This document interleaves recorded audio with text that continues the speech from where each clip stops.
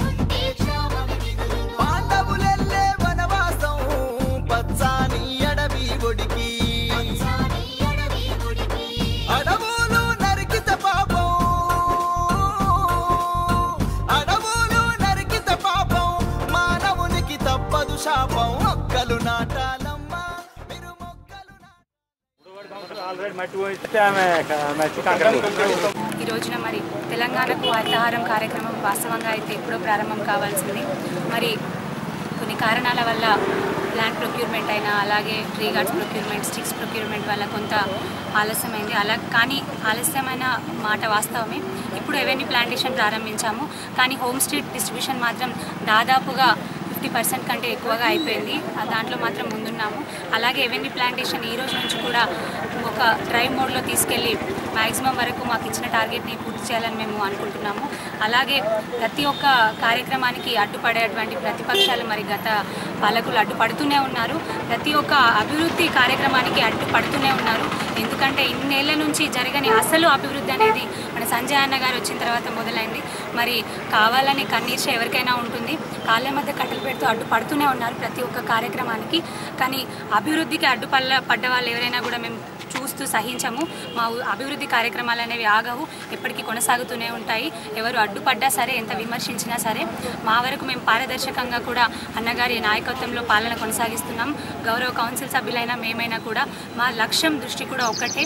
మన గౌరవ ముఖ్యమంత్రి వర్యులు ఇచ్చినటువంటి కార్యక్రమాలైనా చేపడుతున్నటువంటి పథకాలైనా ఏవైనా లబ్ధిదారులకు చేకూర్చడం అలాగే పట్టణాలను పట్టణానికి వన్నె తెచ్చే దిశగా కూడా అభివృద్ధి పరచడం అనేది లక్ష్యం.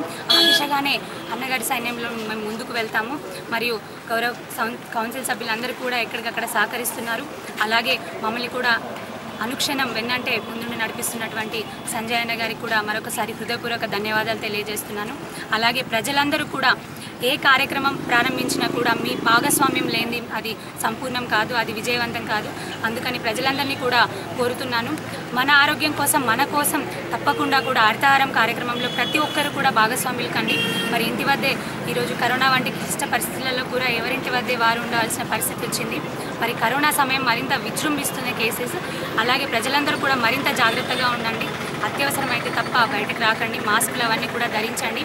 మరి ఇంటి వద్దే ఉంటున్నారు. పిల్లలకు కూడా చక్కగా మొక్కలను పెంచే అవసరం వాటి ఆవశ్యకత ఎంత ఉందో కూడా నేర్పించండి. వాటితో కూడా వీలైనంత వరకు కూడా మొక్కలు నాటించండి. ప్రజలందరూ కూడా పిల్లలతో కూడా. ఎందుకంటే వారు రేపటి భావి భారత పౌరులు వారికి కూడా ప్రతి ఒక్కటి నేర్పించే ఆవశ్యకత ఉంది. అలాగే ప్రజలందరూ కూడా భాగస్వాములు కావాలని ఆవశ్యకత ఉందని కోరుకుంటూ నాకు అవకాశం ఇచ్చినటువంటి పెద్దలందరికీ ఇక్కడికి విచ్చేసినటువంటి పెద్దలందరికీ ఎమ్మెల్యే గారికి అలాగే జేసీ సార్కి మరియు అడిషనల్ కలెక్టర్ గారికి ప్రతి ఒక్కరికి గౌరవ కౌన్సిల్ సభ్యులందరికీ కూడా పేరు పేరున హృదయపూర్వక ధన్యవాదాలు తెలియజేస్తున్నాను. మీడియా మిత్రులకు కూడా thank you thank you very Jagtial పట్టణంలో ఈరోజు ప్రచారం కార్యక్రమాన్ని యుద్ధ ప్రాతిపదికన ఇప్పటి నుంచి కొనసాగిస్తామంటూ ప్రారంభం చేసిన సోదరమణి మున్సిపల్ చైర్పర్సన్ వసంత గారికి. ఈ కార్యక్రమం పర్యవేక్షకులుగా అదేవిధంగా మున్సిపల్ అభివృద్ధిలో వారి వంతు పాత్ర పోషించడానికి వచ్చిన అడిషనల్ కలెక్టర్ శ్రీ రాజేశం గారికి నూతనంగా ఫుల్ అడిషనల్ ఛార్జ్ తీసుకొని అదేవిధంగా గౌరవ ముఖ్యమంత్రి గారి additional collector urban local bodies అంటే మున్సిపాలిటీస్ అదేవిధంగా రూరల్ లోకల్ బాడీస్ గ్రామ పంచాయతీలకు కూడా బాధ్యతలు స్వీకరించిన మేడం అరుణశ్రీ గారికి వైస్ చైర్మన్ గారికి కౌన్సిలర్స్ ఈ ప్రాంత పెద్దలకు వార్డు సభ్యులకు పాత్రికేయ మిత్రులందరికీ కూడా హృదయపూర్వక నమస్కారాలు. ముఖ్యమంత్రి గారు జూన్ ఇరవై నుండే హరితహార కార్యక్రమం రాష్ట్ర వ్యాప్తంగా ప్రారంభించమని చెప్పడం జరిగింది. కొంత సమాయత్తమైనా కానీ తర్వాత ఇరవై ఐదు తారీఖు నుండి పెద్ద ఎత్తున చేయాలంటే గౌరవ అడిషనల్ కలెక్టర్ గారు మేమందరం కూడా ప్రారంభించినాం. ఆ తర్వాత వివిధ కారణాలు ఇంతకుముందు చైర్మన్ గారు చెప్పినట్టు వివిధ కారణాల వల్ల కొన్ని ప్రొక్యూర్మెంట్స్ కొంత లేట్ అయింది. ఇప్పటి నుంచైనా నేను అధికారులను మరి ముఖ్యంగా పెద్దలు joint collector additional collector Rai Singh గారిని అదేవిధంగా additional collector ULBs Shrimati Arunasri గారిని ప్రత్యేకంగా నేను కోరుతా ఉన్నా. It's my request humble request ఎందుకంటే ముఖ్యమంత్రి గారి విస్టేజ్ పథకం ఎవరు ఏదో అనుకుంటున్నాం కాదు. మనం దీన్ని చాలా యుద్ధ ప్రాతిపదికన వెళ్ళాలి. ఎందుకంటే జగిత్యాల పట్టణంలో పెద్ద ఎత్తున టార్గెట్ ఉంది. ఆ టార్గెట్ను రీచ్ కావాలంటే వేలాది కాదు లక్షలాది మొక్కలు నాటాల్సిన అవసరం ఉన్నది. దానికోసం నిధులు కూడా ఉన్నాయి కాబట్టి తప్పకుండా వాటిని వినియోగించుకుంటూ మీ పర్యవేక్షణలో మా చైర్మన్ గారు కౌన్సిలర్స్ అందరినీ కూడా కార్యోన్ముఖులు చేసి అదేవిధంగా స్టాఫ్ను కూడా కార్యోన్ముఖులు చేసి అవసరమైతే కొంత ఎక్స్ట్రా స్టాఫ్ని తీసుకునే కార్యక్రమం చేయాల్సిందిగా నేను కోరుతా ఉన్నాను మేడం. అదేవిధంగా హోమ్ స్టడ్ గురించి గౌరవ చైర్పర్సన్ గారు చెప్తా ఉన్నారు చాలా మట్టుకైనాయని నేను తమరితోటి నిన్నమ్మన కూడా చెప్పినాను. మీరు తప్పకుండా ఒకసారి మీకు చాలా అనుభవం ఉన్నవారు ముఖ్యంగా మెప్మాలో కానీ ఉపాధి హామీ రకరకాల మహిళా సంఘాలను ఉమ్మడి జిల్లాలని మీరు నడిపేదాం యాజ్ ఏ ప్రాజెక్ట్ డైరెక్టర్ నాకు అసలు చాలా అనుభవగ్రాలు మీరు. జగిత్యాల పట్టణంలోని మహిళా సమాఖ్యలను అదేవిధంగా ఆర్పీస్ కూడా తమకు ఒకసారి మీటింగ్ పెట్టి ఒకసారి కోఆర్డినేట్ చేసి అవి ఏ విధంగా జరుగుతున్నాయో కూడా తమకు కొంత చూసుకోవాల్సి నేను కోరుతా ఉన్నాను ఎందుకంటే నేను కొన్ని ఓసారి ఉన్నదిన్నట్టు మాట్లాడితే కొంచెం బాధ అనిపించవచ్చు పోయినసారి మనం శ్రీగంధం చెట్లు కూడా వాళ్ళ ద్వారా ఇచ్చినాం. మరి అవి అనుకున్న రీతిలో ఎక్కడ కూడా నాటుకోలేదనే భావన ఇప్పటికే ప్రజల్లో ఉంది. కాబట్టి ఈ హోమ్స్టెడ్ ప్లాంట్స్ అంటే ఇంట్లో పెట్టే మన మొక్కలు ఏవైతున్నాయో మనము మహిళలకు ఇళ్ళలో ఇస్తున్నామో అది కూడా ప్రత్యేకంగా తమ మీటింగ్ పెట్టి కోఆర్డినేట్ చేయాలి. మా చైర్మన్ గారు నూతనంగా ఎన్నికైనరు విద్యావంతురాలు.